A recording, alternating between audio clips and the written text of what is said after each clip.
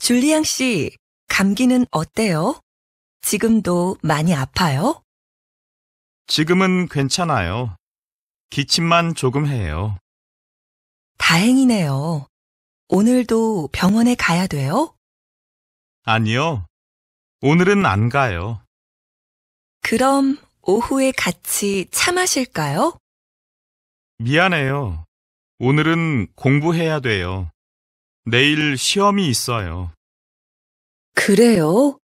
그럼 다음에 만나요. 너무 무리하지 마세요. 네, 고마워요.